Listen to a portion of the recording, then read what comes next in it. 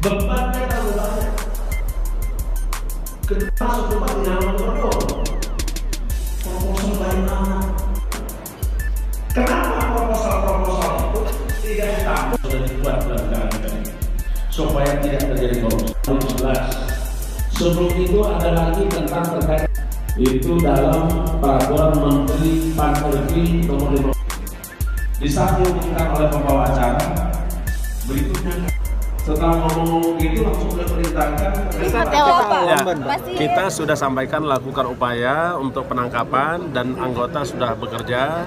Dan saya juga himbau kepada seluruh masyarakat yang tahu tentang keberadaan saudara tersangka untuk memberitahukan dan lebih khusus lagi pada tersangka supaya segera menyerahkan diri karena kapan pun dia pasti akan kita cari dan akan kita tangkap. Informasi terakhir, deteksi terakhir sudah di mana Pak? Katanya ada di Sulsel Pak.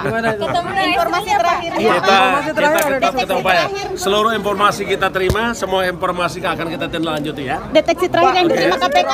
belum ada sampai hari ini belum ada informasi itu. Kita masih dicari ya. Deteksi terakhir. nah kalau sudah tahu tempatnya pasti kita akan lakukan datangin terus kita tangkap. Ya? Oke ya